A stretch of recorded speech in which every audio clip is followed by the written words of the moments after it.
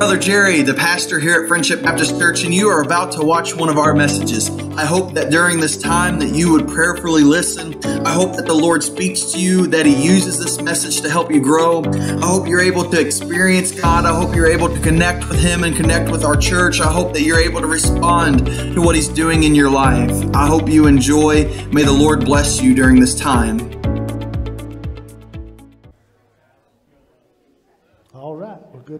It's good to see everybody this morning. Pretty good crowd today. Uh, so we ought to be able to raise a roof on the place today. It's going to be our welcome song, and you know, uh, with everything going on, we need a friend in Jesus. So, what better than to have Jesus as your friend? Y'all tell everybody hello, wave at them, whatever you need to do to talk to them.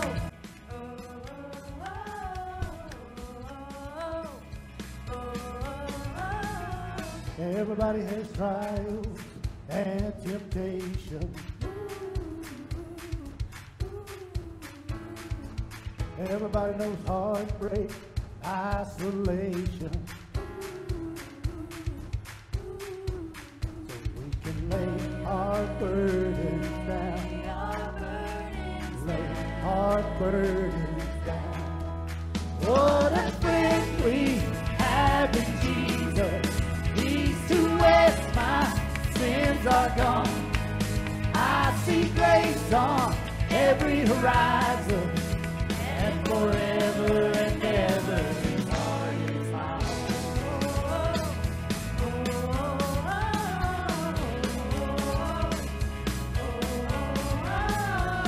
Everybody has fears. Everybody got worries. Everybody knows sorrow, devastation. But we can lay our burdens down. Lay our burdens down.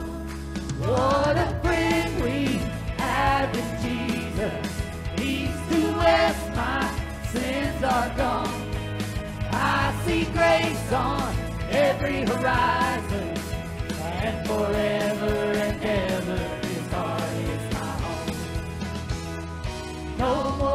betrayal, for he is faithful. He fills me up and my cup runneth over.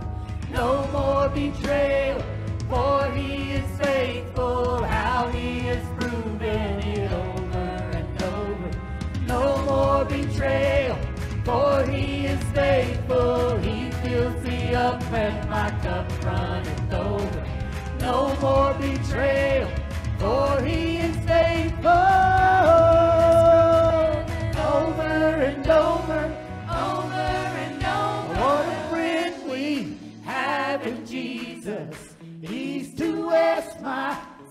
sins are gone. I see grace on every horizon, and forever and ever his heart is my home. What a friend we have in Jesus. East to west, my sins are gone. Yes, I see grace on every horizon, and forever and ever his heart is my home. Forever and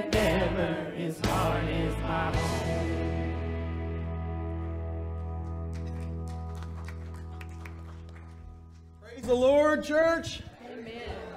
Oh, it's so good to see y'all's faces this morning. We got all that snow out of our system last week. Praise the Lord. I saw awesome pictures from all the kiddos, and there's a few adults that just wanted to get on there. I saw them too. Miss Living, I like that snowman.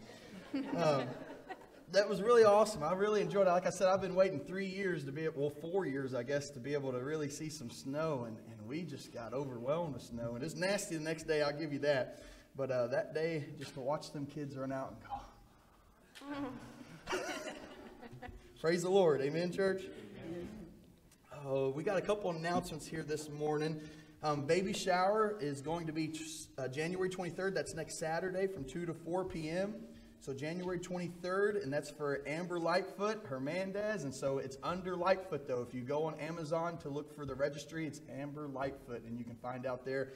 And let's help just love and bless and get that family started off right. And so praise the Lord for that. January 31st is our Family Sunday. Looking forward to that. Continue to be in prayer of how that's all going to, still in the works of walking through all that and, and making sure uh, we get exactly um, what we feel like the Lord wants out of our Family Sundays. And so be in prayer for that. Meal Train Ministry Opportunity. I wanted to share this with you. I've been sending out on Facebook and also our um, prayer chain. I wanted to just give an announcement to all of us. If you would be interested in helping families that are struggling, whether that's just sickness and illness, or whether it's bereavement because they've lost a loved one. You know, there's just sometimes that it's hard for families to get in the kitchen and make a meal. And so um, we're really, we've been doing this, but uh, it's been a, a, lot of the same handful of people that's making the meals. And so I just wanted to open it up. And if you say, hey, maybe I can go pick up a meal or I can make a meal here or there, you'll just get put on a list. And Miss Judy will send out a message and saying, hey, here's a family we want to help. If you're available, say yes. And that's as simple as it is. It's not a commitment of every time, just if you can help. And so there's her number on there. You can see it in the bulletin. Um, you can text her and say, I'd like to be added to that list. Them ladies do an excellent job. It's kind of through the social committee, but she kind of heads that up. And so I'm just thankful for her and the way um, she uh, works with that. And it's just a blessing to love on families. And so thank you all for the way you provide in the meals too. Men's breakfast and ladies' lunches resume in February, tentatively. Uh, hoping we're looking good. So we'll go um, for second Saturdays for men's breakfast and third Thursdays for ladies' luncheons. And so that'll be good. Standing Gaps is continuing to happen on Sunday nights. And then we have our faith at home stuff still going on. And so looking forward to just the way God's going to move this morning. Are you, church? Father God, Lord, you um, amaze me, Lord. And God, um, we're not even worthy of being in this place, Lord. Uh, sharing the name of Christ together, Lord. Lord, that's all through um, your grace. And, and Lord, you've brought us together this morning to worship you. Lord, uh, I know it may feel like a, a, a, crazy morning, Lord, getting kids. I'm learning that, God, getting kids out of the house and getting them all dressed and ready to come to church and, and showing up here, making it on time. God, it just feels like a success right off the bat. But Lord, at the same time, uh, our, our nerves are, are um, everywhere and our, um, it's easy to be distracted. God, but Lord, I pray right now and this time, Lord, as we worship and we sing songs exalting the name of Jesus, that you would give our families a sweet time of worship together right now, Lord Jesus. Lord, um, not for our benefit, uh, Lord, but really for your glory. And God, I pray that as your word is open today and sung through and, and read through and preached through, Lord, and responded to, that you would get glory in all that, God. You are mighty, Lord, and God, we surrender to you this morning. In the name of Jesus we pray. Amen. Amen. Amen. All right. Well, this is our birthday and anniversary song. If y'all would stand with us.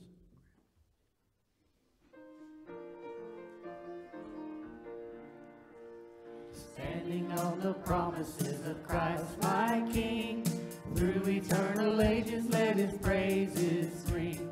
Glory in the highest, I will shout and sing standing on the promises of God. Standing on the promises, standing on the promises, standing on the promises of God, my Savior. Standing on the promises, standing on the promises. I'm standing on the promises of God. All right, young lady. I couldn't hear that, so I'm going to say 18. hey, we got another one up here. Oh, yeah, we have another one. How young are you today? There you go. And we got one more. I guess she's back there in the nursery, Miss Linda Vaughn. All right. We better sing happy birthday. Happy birthday to you. Happy birthday to you. Happy birthday, God bless you. Happy birthday to you.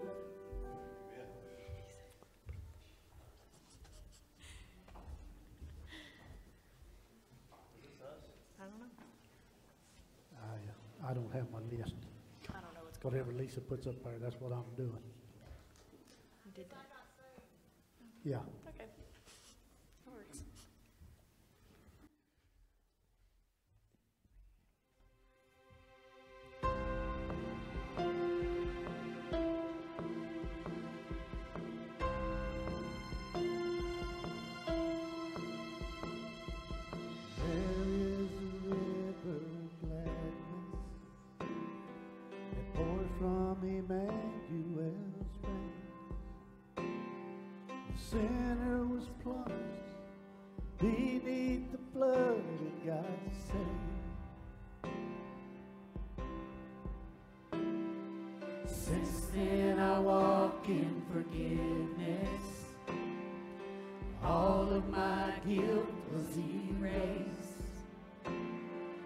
chains of the past were broken at last. I got saved. Oh, I got saved. I'm undone by the mercy of Jesus. I'm undone by the goodness of the Lord. I'm restored and made right. He got a hold of my life. I've got Jesus. How could I want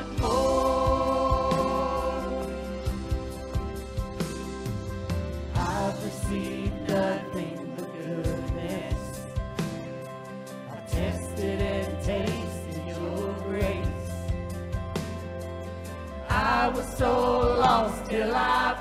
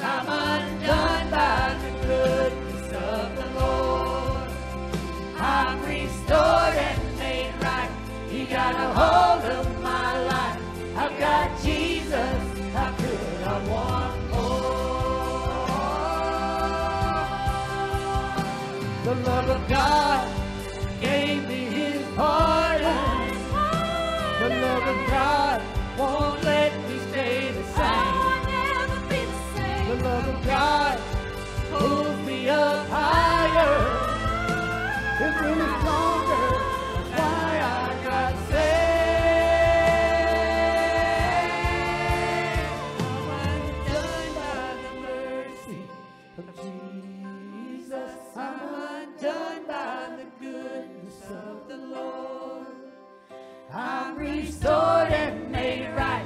He got a hold of my life. I've got Jesus.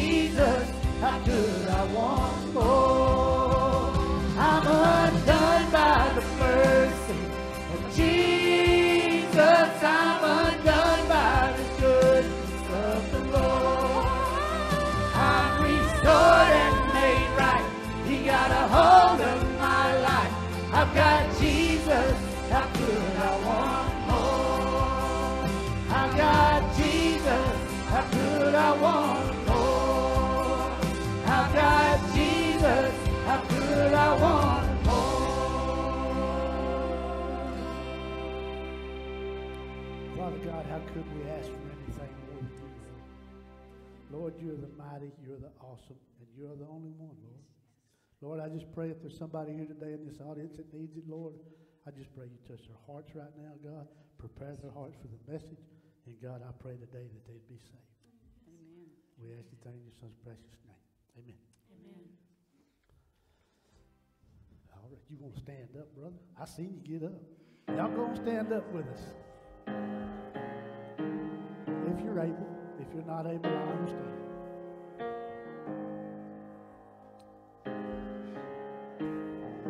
Held by the Savior? I've been held by the Savior. I felt fire from above. I've been down to the river. I ain't the same. Prodigal return. All my hopes in Jesus. All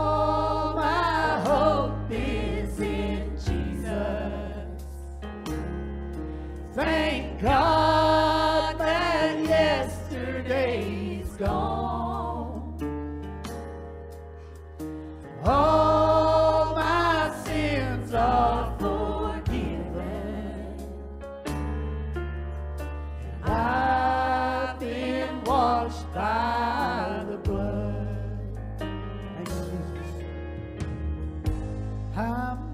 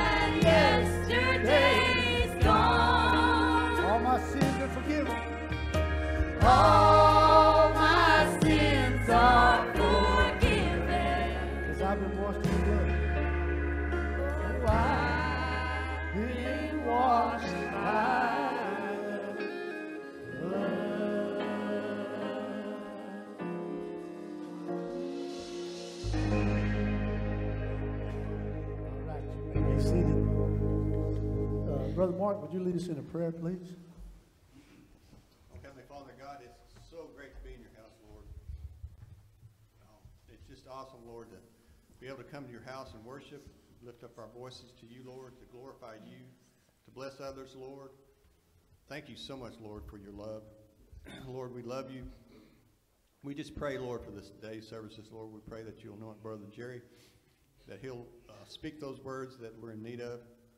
Lord God, I just pray that our hearts are open, our ears are open, Lord, that we receive that word.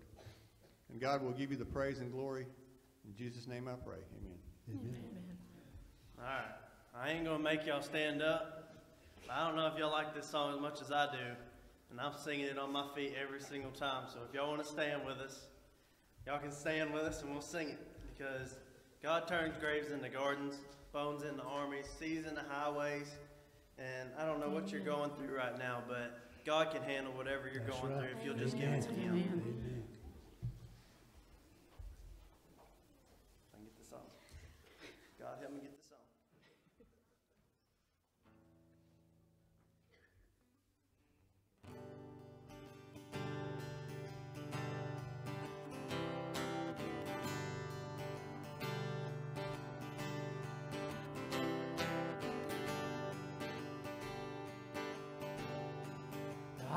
The world,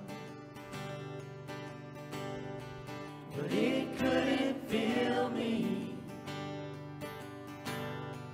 A man's empty praise and treasures of fame are never enough. Then you came along and put me back together. Every desire is now satisfied here in your love. Oh,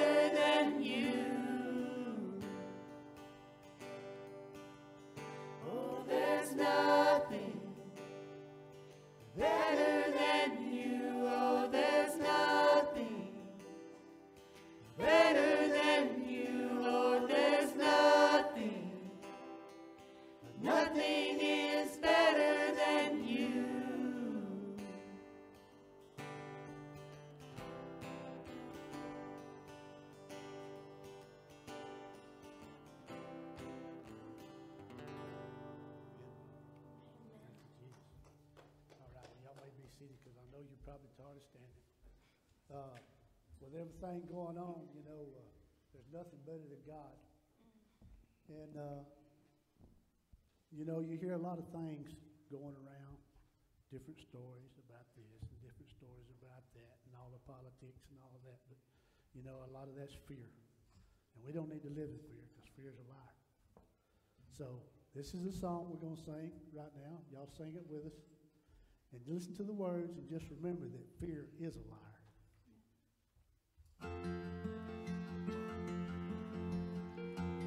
Probably deal with part of this probably hit you right on the head of what's going on in your life. When it told you you're not good enough, when it told you you're not right, when it told you you're not good enough to put up a good fight, when it told you you're not worthy, when it told you you're not loved, you're not beautiful, you'll never be enough. Think about it. Fear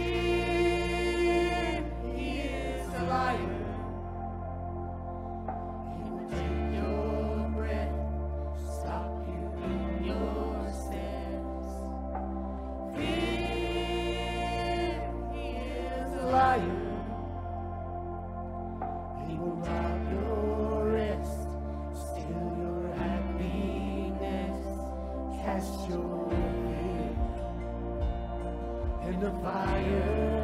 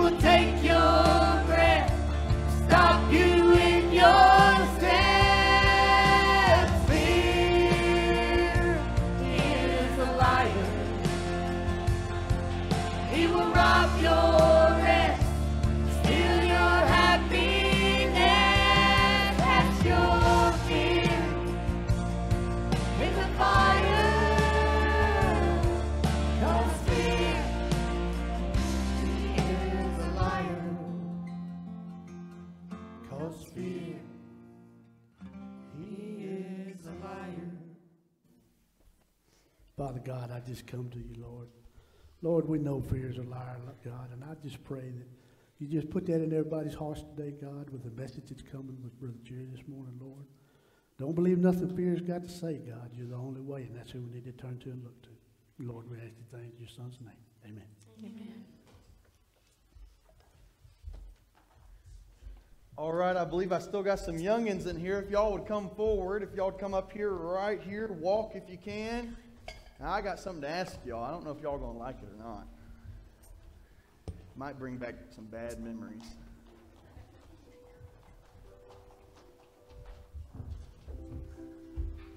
Y'all doing okay today? Uh huh. Doing pretty dresses. So, just a reminder this is all the way up to fifth grade, but the first through fifth graders stay in here, and the ones kindergarten under will go back for children's church. But first through fifth graders, if you get your um, packet, kids packet, there you think, Ralph. Um, I, you get your kids packet whenever you leave. It's got a bulletin, and all that good stuff. But I got a question to ask you. Have you ever heard these words? Listen real close. Do you want a whooping? You never heard those words before? No. I heard those words a few times. What about this? You want me to take off my belt? No. Yep. you know what those things are called? Or maybe in, in our house, what we're doing right now, it's called, you know what, you remember what it's called, Caleb? When you get in trouble, where do you go? No. The talking chair. That's right. So we're doing the talking chair, and and uh, it's um, all kinds of different ways you do this thing I'm wanting to tell you about. It's called discipline. Can y'all say discipline? Discipline. Discipline's something that mommy and daddy do, and they, they try to work with you, and, and, and it's out of love. Sometimes we think spankings and talking chairs and all these different things that we talk about. Um, all these different things are, are um, really scary and really hard, but the truth is, is they're done out of love. Did y'all know that? It's hard to believe, isn't it? but it really is done out of love, and it's to help us because when we get in trouble, it's because we do something we're not supposed to, right? Is that how we get in trouble? We do something we're not supposed to, and so then um, someone's got to come in and say, hey, you're not really supposed to do that. We need to try better, and if we don't try better, then consequences or discipline comes in. And so that's something that we all deal with as we're raising up, and the truth is, is we probably all need to be self-disciplined a little bit. Amen? And, but when we're younger, it helps for mom and dad to help discipline us. But in the church, I want to talk today about church discipline. Because as a church, it's something we do out of love too, as we walk with one another, with brothers and sisters. Y'all know we call each other brothers and sisters here. Uh-huh. And so we're a family and we help discipline one another. We help walk with it, self discipline, but also a discipline with one another. Isn't that cool, Caleb? Nope. No, buddy. I think it's cool. Is it cool, sweeties? Yeah, there we go. You might need a little discipline when we leave here. Um, so, y'all remember the row. We all, as soon as we leave here, we go and get our buckets. If you're in here, if you go in the back, you go straight to the back. Y'all say amen? Amen. All right, I want to pray. Does anybody want to pray for me? Go ahead, Trip. Pray for us, buddy. Holy Father, I thank you for sending down your Son to save us from our sins. And I hope today's a great day. Amen. Thank you, Trip. Y'all go ahead and walk back.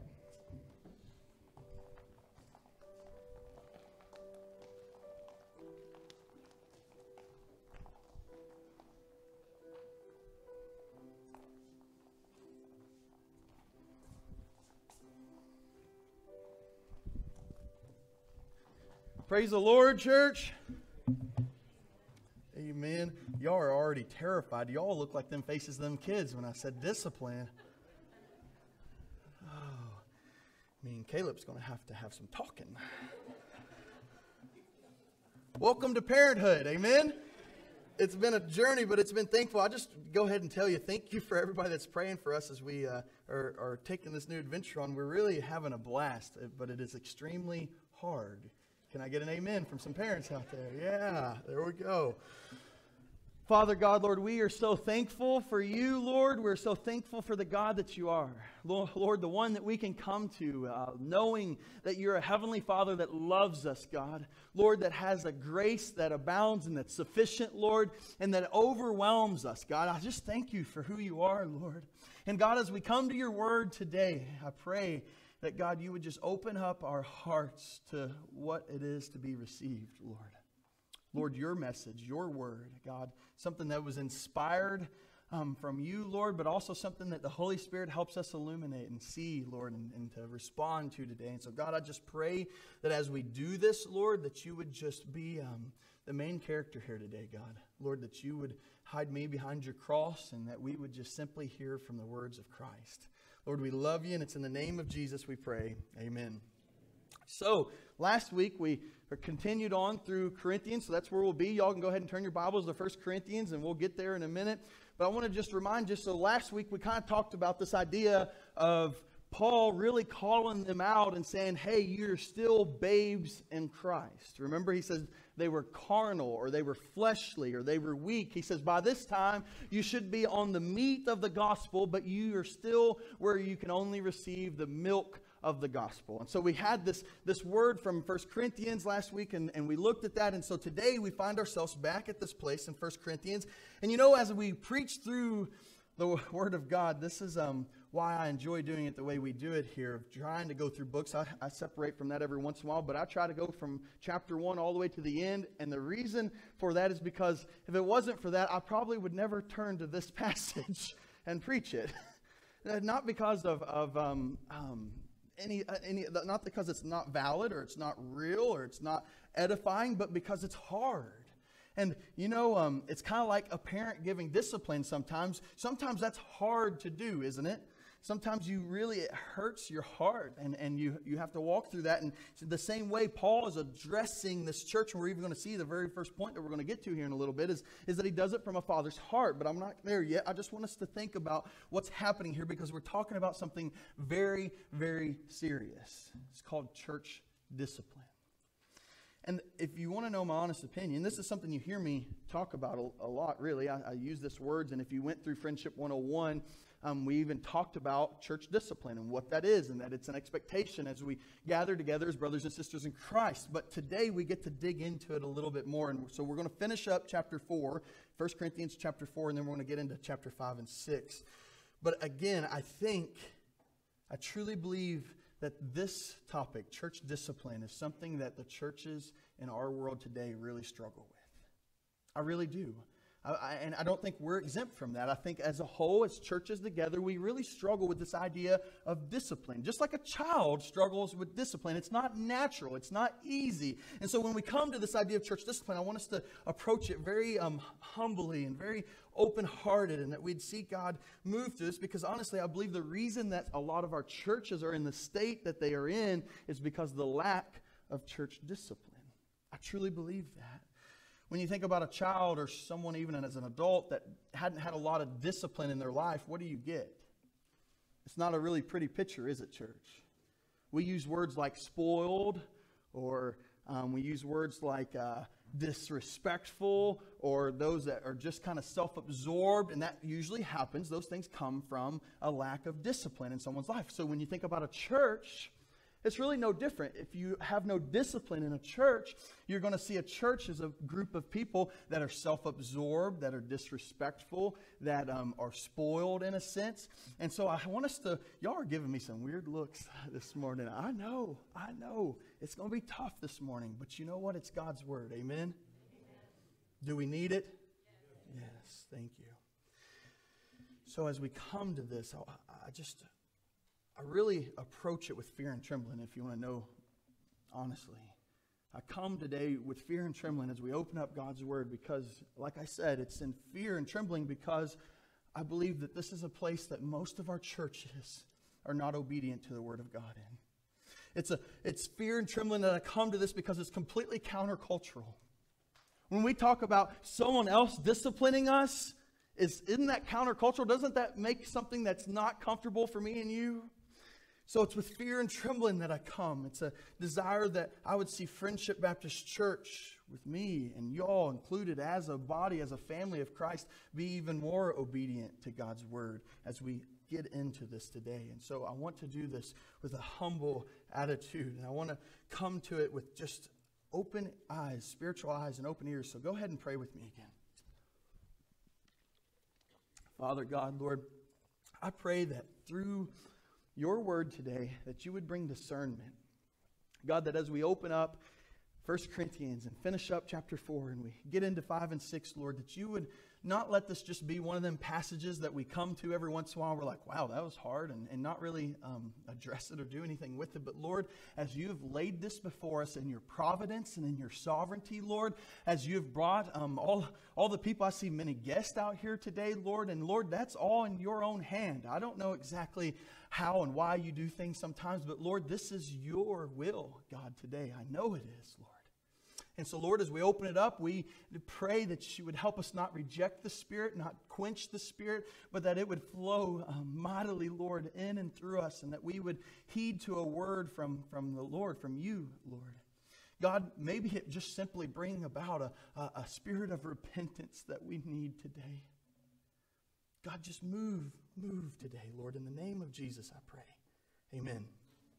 The first point chapter 4 verse 14 we're going to get to this point that god or that paul here that paul is really warning them and it comes from the heart of a father and so look at verse corinthians chapter 4 verse 14 if you're there say amen it says i do not write these things to shame you listen to his heart i don't write them to shame you but as my beloved children i warn you for through for though you might have 10,000 instructors in Christ, yet you do not have many fathers. For in Christ Jesus I have begotten you through the gospel. Therefore I urge you, imitate me. For this reason I have sent Timothy to you, who is my beloved and faithful son in the Lord, who will remind you of my ways in Christ, as I teach everyone in every church. Now, some are puffed up, as though I were not coming to you, but I will come to you shortly, if the Lord wills, and I, I will know not the word of those who are puffed up, but the power. And we know from earlier, he's talking about the gospel. They're from the gospel and the work of the gospel. Verse 20 For the kingdom of God is not in word, but in power. What do you want? Shall I come to you with a rod, or in love and a spirit of gentleness? And so he says, This whole letter that I'm writing to you, this whole passage that I'm getting ready to open up and, and address you with, isn't to be um, done out of, of shaming you. And so, as we are looking at me and, and, and, and thinking about what this message is about, it is not about shame. Amen, church? It's not a shameful message here this morning at all. It's a message of warning, not from me, but from the Lord, from Him and His hand. And so, as we think about that and we walk through that, let's, let's focus in on what's being said here. He says, You may have 10,000 instructors in Christ, yet you have not many fathers, for I have begotten you in Christ through the gospel. You know, there's a difference between the heart of an instructor and a heart of a father. Y'all realize that, right? When you think about a heart of an instructor, that's a powerful heart. It's a lot more powerful in mine in some senses when I think about teachers and those that instruct our children and, and, and, and Sunday school teachers. Uh, instructing is tough, and it takes a wonderful heart to do that. And you think about the instructor's heart, it would include things like just wanting them to understand. You're, you're communicating in a way to try to get them to understand. You desire that. You desire to see them succeed. You want them, you want to personally instruct well. And so you think about instructor's heart, you do care for the child. Amen? Teachers, I didn't hear many of you out there. Amen? Amen? All right. But a father's heart is this and so much more, isn't it, church? They have the same heart. They, they want the, the child to, to, to understand and, and discern. They, they want to, to instruct them in that way. They want them to succeed. But there's more to a father's heart. There's a deep connection. There's a deep love there that's not there with a, a, a teacher or an instructor. Now, there is love there, but I'm talking this deep, connected love. A father has got more influence then than a regular instructor. There's a special devotion. And Paul says, I've begotten you. I've done that in the name of Christ. He says, In Christ, I've done that through the gospel. And so I want us to catch this. Paul's not saying, Call me Father. In fact, the Bible says elsewhere not to call any man Father. We have a heavenly Father. That's not what Paul's addressing here. He says, the way I'm addressing you, the way I'm talking to you, is the heart of a father. I want you to know I love you. You're in my heart. And, and, and he makes sure that they know salvation didn't come through him. He didn't begot them on his own, it was in Christ through the gospel. Salvation comes in Christ through the gospel. However, God gave them this special role, this connection, and told them to imitate himself. He says, Imitate me. But again, this isn't about Paul. If you look at verse 17, I think it is, it says um, that you are to imitate me. And I sent Timothy, my son, faithful one, to show you all my ways in Christ. And so it's not about the way Paul's walking here, it's about the way he's walking in Christ. And so make sure we, we get this understanding here. But again, when you think about a father and a father's heart, there's this natural connection and imitation, right? I'm learning this. Uh, I was uh, fixing my hair, and uh, y'all know I got a big boy haircut now. I'm a big boy. So I actually have to use gel and all that crazy stuff. And uh, Caleb come walking in, and he says, "Can you fix my hair like that?" So yeah, he wanted to imitate me, and so I, I got the gel out and I fixed his hair up, gave him the little comb over with the whatever you call that, and and uh, he was like, "I look handsome, don't I?" I said, "Yeah, buddy, you do." And so, but then just last night we're at the table and, and I'm eating chicken nuggets with him, and and uh, he says, and they're ranch fans. But they are all about ranch, and they always get ranch with everything from the for the last two whole weeks, every meal. And he said last night, "Can I have some ketchup like you?" That's just this imitation. It's that's all it is. That's all that is. It's a connection that's that God's building there from a father's heart. And that's how Paul's writing here. He's saying, Look, I have a connection with you. My heart. I, I love you. And, and I want you to imitate me in the way I walk with Christ. That's my desire. And so as we get to this topic of church discipline, may the tone be set here this morning from a father's heart from love, from God's word, from his message. And so there's the first point here. And so, and, and it comes, uh, before I really get to the end of that, I want to focus on what he says next. He says, If the Lord wills, I will take account of how you respond to this warning, is what he's really getting at there at the verses 18 to 21. And, and his point is, is some people were saying, oh, Paul's never going to come back. He's got his own missionary journeys that he's doing, starting churches. He's never going to come back here. Why should we ever listen to Paul? And Paul says, oh, I'm coming. I'm coming. If the Lord wills, I'm coming. He says, I'll be there. He says, the question is, is when I get there, how do you want me to approach you? With a rod or with gentleness and love? He says, how will you respond to this? And so then is when we get into the meat here, this next part, chapter, or the, the chapter five. If you're there, say amen. amen. The second point this morning is that Paul then strongly encourages the Corinth church to enact church discipline, to carry out church discipline. So here's where we're going to see this, this topic, this theme. And so at 1 Corinthians chapter 5, verse 1, it says, It is actually reported that there is sexual immorality among you. And such sexual immorality as it is not even named among Gentiles. That a man and his father's wife lay together. And you are puffed up and have not rather mourned that he who has done this deed might be taken away from among you. For I indeed, as absent in body, but present in spirit, have already judged, as though I were present, him who has done this deed. In the name of our Lord Jesus Christ, listen to what he says here in verse 4 in the name of our Lord Jesus Christ, when you are gathered together along with my spirit, with the power of our Lord Jesus Christ, deliver such a one to Satan for the destruction of the flesh, that his spirit may be saved in the day of the Lord Jesus. Wow. Visitors are thinking, I'm never coming back to this church. It's God's word, though. Amen. It's straight from his word. What do we do with that? That's some harsh language. That's hard language. Let's, let's take that in. Let's figure out what he's saying here because I think initially what he's doing is he's calling them out. Just like he called them out for their immaturity and said, You're still babes and you need to be taking meat by now. Now he's saying, Look, there's issues in the church that you're not even addressing. You're not even addressing them. He, he starts talking about it. He calls them out for not carrying out church discipline, not addressing these issues. That's what church discipline is, is addressing sin issues. And so he calls them out and says, Don't you realize, I know you realize, that there's a man in your church that's sleeping with his father's wife. And so, most likely, a, a stepmom here is kind of what we would associate that with. And so, a stepson and a stepmom are, are together. And, and I want us to catch something that says that he has his father's wife. Not had, not repented. There's a sense that I want to get to here in a little bit of it's unrepentant sin that we're not we're talking about. So when we're talking about church discipline, I'm not talking about us being sin police, just walking around and saying, "Oh, there it is. Oh, there it is. You need to straighten up." It's when we see someone over and over again because we all struggle. I get that.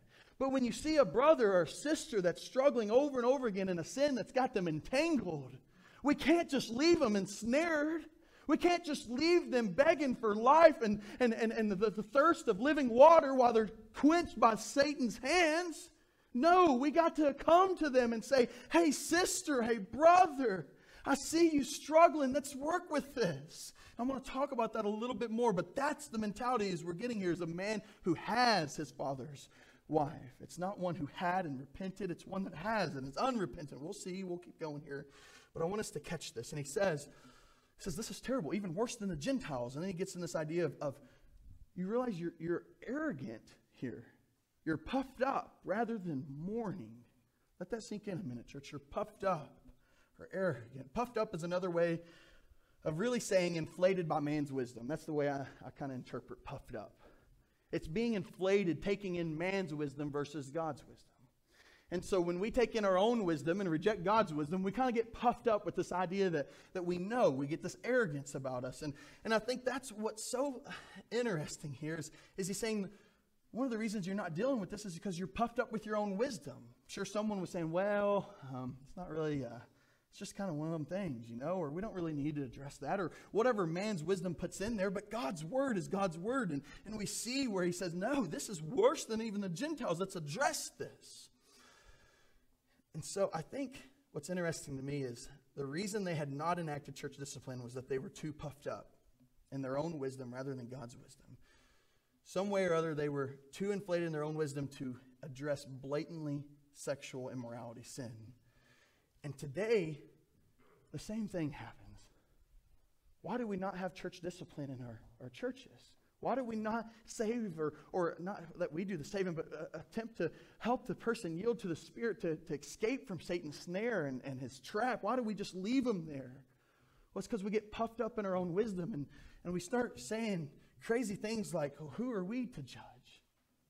That's man's wisdom. God tells us, in fact, in the next chapter, he's going to say the, the saints are going to judge the world.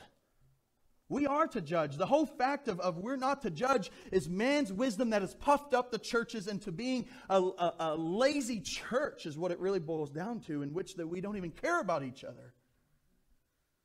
He says, How do you get here? And some other man's wisdom, I think, is, is don't we all mess up? Don't we all struggle? How can I point my finger? And, and, and I think those are done with the right heart sometimes but it's a deceived heart, one that's deceived by being puffed up with our own wisdom. And I want to walk through this just a little bit more with you. Another point that I think Paul makes here is that church discipline is something that is to be done as a body. As a body. This is so important, church. He says that he's absent but he says, as if I was present, he says, I've, I've judged them. And this is an authoritative judge, this is a discerning judge. He says, I've judged them and, and I see that it's wrong. He says, so when you gather, and he starts walking through this in a minute, but he, he says, you as a body are to do this. And I think about this church discipline is not carried out by pastors and elders. And I think that's where it's messed up in churches before in the past when the pastor starts taking that role. That's not my role. Now, do I play a role in that? Yeah. I'm, I'm to protect and shepherd and, and the flock, absolutely. But at the end of the day, church discipline is to be done by the church, not by the pastor or the elders. It's not to be done by the deacons. The deacons play a role of trying to keep unity in the midst of it, but the deacons are not the responsible ones of doing church discipline. Church discipline is to be done by the body, is what we're getting here as Paul's writing this. And he starts walking through what this actually looks like. So look at verse 4 again It says, In the name of our Lord Jesus Christ, when you are gathered together, along with my spirit, Paul saying, with the power of our Lord Jesus Christ, deliver such a one to Satan for the destruction of the flesh, that his spirit may be saved in the day of the Lord Jesus. And again, that's so hard to hear because my mind and my heart goes to what about the adulterous woman, Jesus? You were the one that, that literally looked at her and, and they were all talking about her sin and, and you were drawing in the sand and, and then all of a sudden you, you tell them, hey, whoever has not sinned, cast the first stone. Who has not sinned, cast the first stone. And they all drop their stones and they walk away because they can't cast a stone. You remember that passage? But what does Jesus say afterwards? Get up. You've been forgiven. Go and sin no more. We see a repentant heart. Totally different church. And so when we hear the words church discipline, don't think about those that are just messing up. Think about those that are entangled and ensnared with an unrepentant heart. That's what we're talking about here. Now, does it uh, does that kind of have a process and a progress to that? Absolutely. Can we get in the midst of that to check people's hearts, one another's, not in a police way, but in a loving way? Absolutely. I pray that we're having conversations about our hearts in our small groups and our D groups. And when we're visiting across the table, would we talk about the conditions of our heart, church? Amen? But Paul's not the one that makes all this church discipline up. It comes from Matthew 18 when Jesus says this. Matthew chapter 18, I got it on the screens, I believe. It says in verse 15, Moreover, if your brother sins against you, go and tell him his fault between you and him alone. If he hears you, you have gained your brother. If he repents, you've gained him. Praise the Lord. Verse 16, though, but if he will not hear, take with you one or two more. And we kind of use that as the deacons or the elders and the pastors at times, the one or two more, that by the mouth of two or three witnesses, every word may be established. And if he refuses to hear them, tell it to the church. But if he refuses even to hear it from the church, let him be to you like a heathen and a tax collector. Those are Jesus' words, church. Again, hard. What does he say next? Assuredly, I say to you, whatever you bind on earth, you will be bound in heaven, and whether you loose on earth will be loosed in heaven. Again, I say to you that where two or three are, agree on earth concerning anything that they ask, it will be done for them by my Father in heaven. For where two or three are gathered together in my name, I am there in the midst of them. So the whole where two or three are gathered, we say that all the time is in the context of church discipline, what Jesus is saying here. He says, where we're gathered and the Spirit is reigning and we're walking through with that. And so, real simple, church. Someone sins against you, you go to him and say, hey, what's going on here? I, I felt like that wasn't really kind. I felt like that was sinful. And if they repent and say, I'm sorry, I didn't mean it that way, or I did mean it that way, I'm really sorry, I just had a rough day, or, or, or you know, I was completely in the wrong, knew I was in the wrong, but I'm sorry. Praise the Lord, you've gained your brother, you've gained your sister. But if they don't repent, they say, ah, I'm not going to deal with that. Then that's when you take two or three witnesses. Tells us very clearly what Jesus says. You go to them, praise the Lord if they repent. If they don't, he says, take it to the church. Now that's where we get a little fuzzy. What does that mean? And that's when I say I feel like as churches, we struggle with this because honestly, I haven't hardly been part of church where I've ever seen it taken to the church when it probably needed to be taken to the church several different times. So, what does it look like? That's what Paul's getting at here. He says, This is what that looks like. He says, It is to be done in the name of our Lord Jesus Christ. If you ever take it to the church, it better be done in the name of Jesus, not in the name of your church, not in the name of an elder or deacon or anyone else or a pastor. It is to be done in the name of Jesus. It keeps us accountable, church. It's not about saving anyone else or saving any church. It's about saving the name of Christ. Let it be done in His name. It is to be done when gathered. It's not a secret meeting that happens with a few elders in the, the, the rooms. It's, it's to be as gathered. It's said, he says, Paul says to do it along with his spirit. Now, we don't have Paul anymore, and we don't have a spirit in that sense, but we have his words. We have God's words that God inspired anyway, so it should always be done in line with the scriptures, with power, or the gospel of our Lord Jesus Christ, which is a gospel of restoration, one that desires one to be restored and not condemned and then deliver such a one to Satan for the destruction of the flesh, that his spirit may be saved. This one catches us off guard. What do you mean, Paul? What do you mean, God? How do we deliver one to Satan? for the destruction of his flesh, that his spirit might be saved. What in the world does that mean? Well, I'll tell you what it means. It's not condemnation, it's restoration. You see it in John chapter 3. I'm not sure if I have this on the screen. Just listen if I don't. John 3, verse 18. He who believes in him is not condemned, but he who does not believe is condemned already, because he has not believed in the name of the only begotten Son of God. And this is the condemnation that the light has come into the world, and men love darkness rather than light, because their deeds were evil. For everyone practicing evil hates the light and does not come to the light, lest his deeds should be exposed. But he who does the truth comes to the light, that his deeds may be clearly seen that they have been done in God. And that's what Paul's getting at, that the Spirit may be saved. He says, all this darkness stuff we got to do away with. Christ is the light. Let it be revealed of, of what's really going on. Has it been done in God? And let's walk through this. he says, if it is, then we hand them over to Satan if they're unrepentant. What does that mean? Well, Job has some familiar language.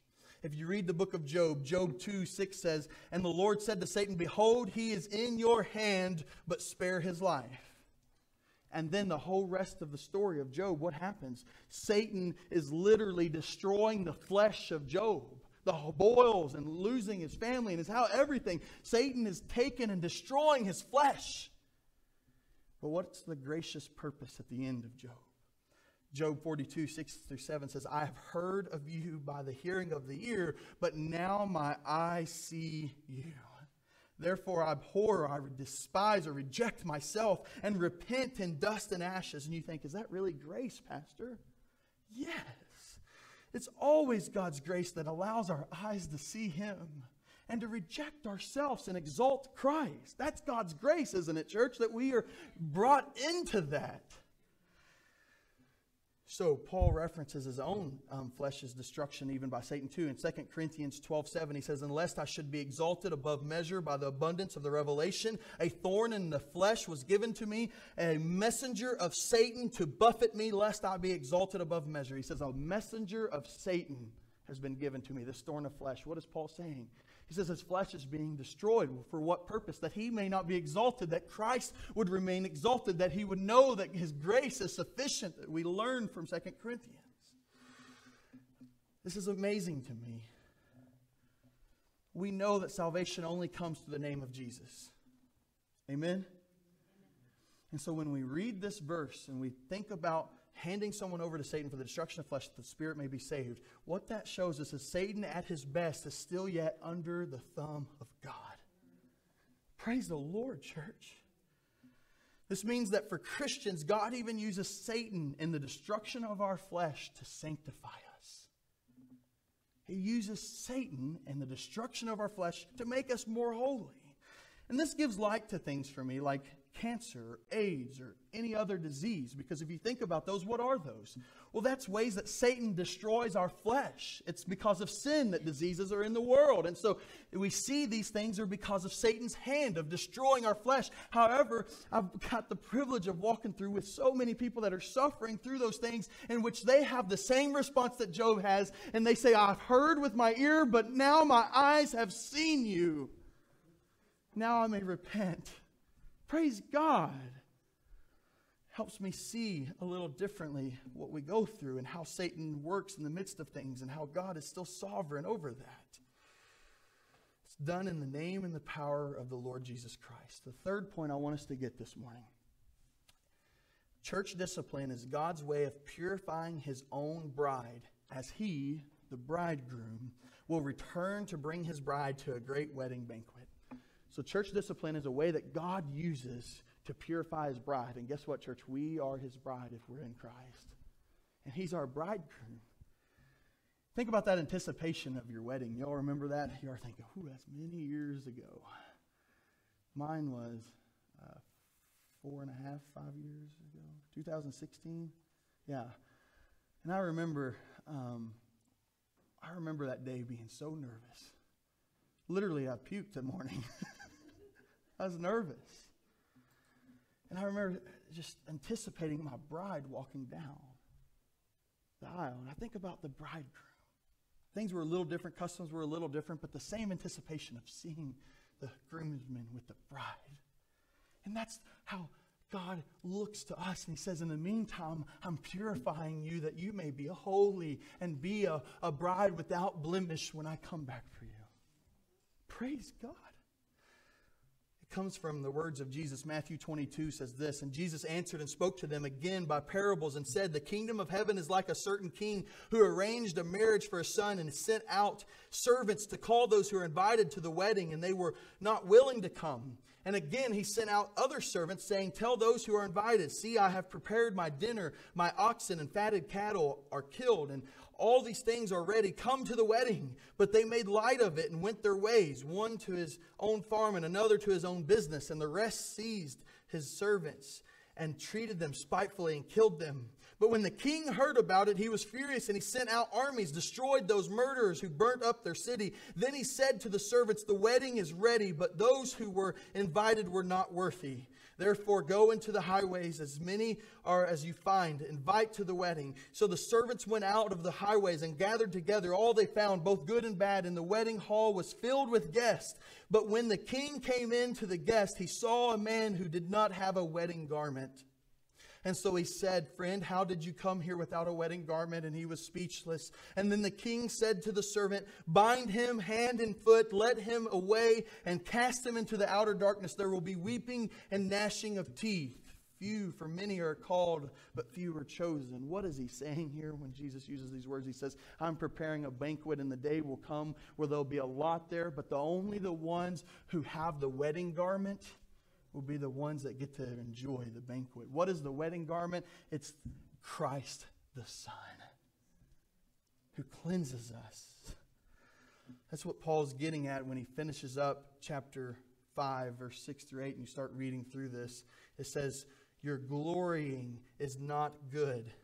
Do not know that a little leaven leavens the whole lump. Therefore, purge out the old leaven, that you may be a new lump, since you are truly unleavened. For indeed, Christ our Passover was sacrificed for us. Therefore, let us keep the feast, not with old leaven, nor with the leaven of malice or wickedness, but with the unleavened bread of sincerity and truth. What is he saying? He says, without church discipline, sin ruins a whole body. It ruins the whole body, is what he's saying. Without it, it does. It's like leaven. It takes a little leaven to leaven the whole lump, and it's all bad, he says. He says, and he compares it to the, the Passover, and he starts talking about the Passover lamb and the feast that comes. And after the Passover, they wouldn't be able to have um, leavened bread in their house because it was a representation of sin. And so we see this idea of him saying, We are truly unleavened because Christ has cleansed us. Therefore, get rid of the old leaven, the malice and the wickedness. Get rid of it and put on sincerity and truth. That's the leaven, the unleavened, he says. In fact, he says, I've already told you this in my first epistle, the one we don't have. And he starts walking through this and, and he starts talking about how he says, I told you not to even eat with those that are sexual immoral or those that are struggling with the sins. And he walks through this. Let me just read it. I wrote to you in my epistle not to keep company with sexual immoral people, yet I certainly did not mean with the sexual immoral people of this world or with the covetous or the ex- extortioners or idolaters, since you would need to go out of the world. But now I have written to you not to keep my company with anyone named a brother who is sexually immoral or covetous or idolater or reviler or a drunkard or extortioner, not even to eat with such a person. For what have I to do with judging those who are outside? Do you not judge those who are inside? But those who are outside God judges, therefore put away from yourself the evil people. He says, I already talked to you about this. He says, don't, I'm not saying don't mingle with sinners. He says, that's impossible. In fact, that's not missional. He says, what I'm telling you is to not mingle with so called brothers who profess Christ, who are dealing and caught up and ensnared in those sins unrepentatively. That's what he's getting at here. Why? So that Satan would destroy the flesh, yet the spirit may be saved. And that we would see restoration and we would see purification.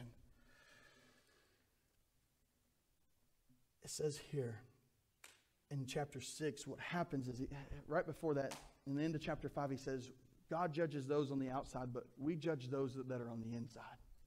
talking about inside the church, that's our, our role. And then the whole chapter 6 there at the beginnings about, he starts talking about suing one another and how a brother shouldn't sue another brother or a sister shouldn't sue another sister, this idea of suing one another. But the whole purpose of this passage is, is really tying in with discipline and with the way we judge. He says, don't take your judgment outside of the church. To the, to the unrighteous is what he's getting at. I don't have time to read it this morning. But I want you to go and read that when you leave. And I want you to think about what's really happening here. Paul is saying the purpose of this is that you wouldn't take your concerns and your, your sin battles with one another outside of the church to where the lost can see it. And that the effectiveness and the testimony of the church be ruined. That's what he's getting at here. He says, Don't you know that saints will be the judge of the world? Why do you take them to the unrighteous? He says, Wouldn't it be better if you would just be wronged or cheated than to find yourself in that place? He says, Instead, what you end up doing is cheating and wronging them. But then he says, Don't you remember who the unrighteous are? He says, Fornicators, idolaters, um, adulteresses, homosexuals, sodomites, thieves, covetous, drunkards, revilers, and extortioners. And he says, And such were you. But you were saved, you were sanctified, and you were justified. He says, You're no better than any of them. This isn't a message of being better and a judgment coming from your own authority. This is church discipline that happens because of us recognizing it's all through the grace of God that any of us walk with Christ. And then he goes on in chapter 6, verse 12 through 20, and he really comes back to this idea of wrapping it back up to the sexual immorality that we're dealing with in chapter 5. The man sleeping with his father's wife. That's how he wraps all this back up. And I wanted to get through that because that's the chunk here that all comes together. I wanted to make sure we grasped it in context. So you can go and finish that until you get to chapter 7. We'll start 7 next week. But I want us to think about this. What he gets to at the end, he says, when you are dealing with that sin, you're committing sin against your own body, sexual immorality here specifically, he says you're, you're combining with a harlot. He says, but you're not to be united with a harlot. If you're in Christ, you're already united with Christ. Christ doesn't unite with a harlot. He cleanses us. That's the whole purpose of the gospel. So he's saying that he reminds us that sin defiles the very purpose of the gospel. The gospel was to defeat sin so we could unite with Christ rather than being united with sin. So, church, as we come to this right now, I told you it's with fear and trembling that I come to this passage. I pray that God has worked just, just, just in any way in your heart this morning. And my prayer is, is that He would have brought you, and if not now and already, but He would do right now, bring you to a place of repentance. Don't we all need to be in a humble place of repentance? That should be a constant state, a posture we have before the Lord Jesus. And so I'm just praying that right now, maybe the Lord would bring a spirit of repentance on our church and that, that we would see obedience to this. Maybe we would even see a brother or sister in here, right in these pews, come up to another and say, Hey, I'm struggling and, and I just want to pray with you. And, and I feel like we, there's been sin in our relationship and I want to pray through that with you. Maybe that happens at the altar today. Maybe that happens on the phone as you leave this place. Maybe God would just do something so miraculous of saying we can't let someone continue ensnared sin and that we just walk through that with them in love with the hope of restoration. Would that happen today, maybe? If God wills it to happen, the spirit of, of, his, of, of humility and gentleness and love might come upon this place and we see restoration in relationships. I pray more than anything that we would just be reminded of the sweet gospel of Jesus Christ, that it saved us as we were such. And if that hasn't happened and you find yourself in here today and you say, you know, I, I really know that I've had the sin issue, but I've really not cared and you say, I think it's really because I'm not in Christ. If after you've walked through this today, I really wonder if I'm even in Christ and I want to walk through that with you. I'm here to, to counsel and walk through that with you. Maybe you've just said today, you know what? God, you have opened my eyes. My ears have heard, but now my eyes have seen. And I am saved because I know there's a repentance that's come over my heart. And I want you to be exalted, Lord. And we celebrate in that salvation today. Father God, Lord, you, my Lord, our Lord, God, I pray that, that you would bring about a, a, a, spirit of repentance, Lord. God, as I read this passage, what it shows me is that the Corinth church wanted you, Jesus, as the pardoner of sin, but they did not want you as their purifier. Lord, help us not only desire you to pardon us, but to purify us, Lord. Maybe today we just come broken before you saying, I know that I've, I've struggled with this and I just want you to take it, God. Lord, let there not be a sense of, of, of judgment and authoritative sense of, of holier than thou or anything like that. But God, may we look at one another and say, I love you enough to pray with you in this. I love you enough to walk with you in this. In fact, it's something God restored me of, and, and I know He has the hope of restoring you in. Oh Lord, I pray that you would just work miraculously right now, God. Would you bring about your grace and maybe even salvation in this place?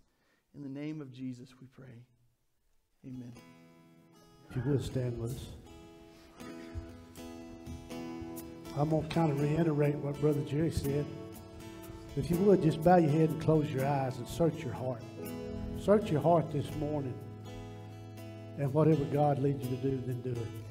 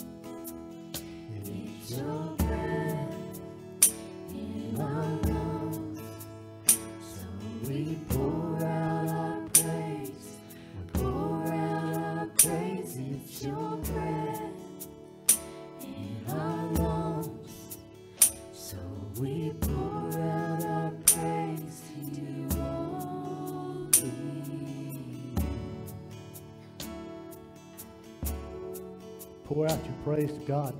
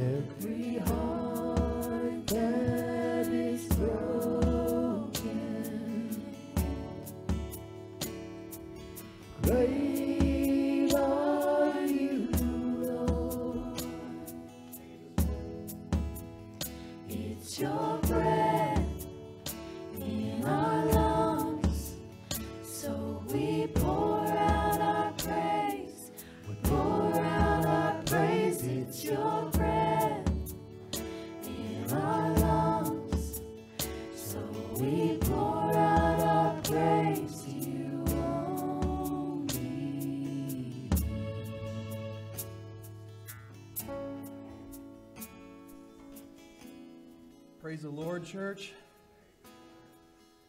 Would He continue to work with us and those visiting this morning? I'm so glad that y'all got to come, and, and it's just been a blessing to worship with you this morning. A little different message, but it's God's Word. Amen, church? And that's what we're going to preach is God's Word.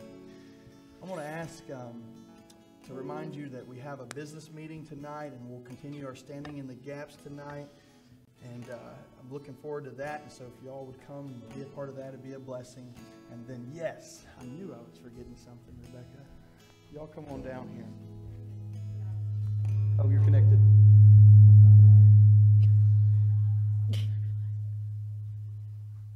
For the bang, brother.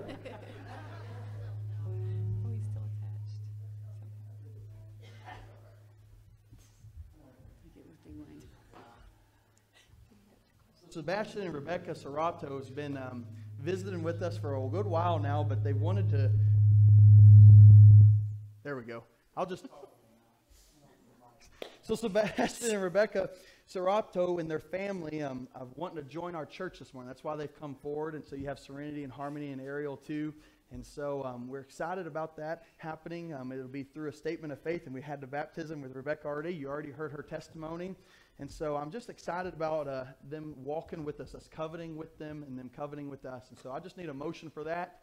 Roy Scholes made a motion. I got a second with Miss Beverly. All in favor say amen. Amen. All right, y'all make sure you get to know their story. It's quite phenomenal from Colombia and some awesome things uh, that God does in Colombia too. It's all, all cool to listen through. I know he'd love to share it with you. Maybe even a, eat a Colombian meal with you. Yeah. Yeah.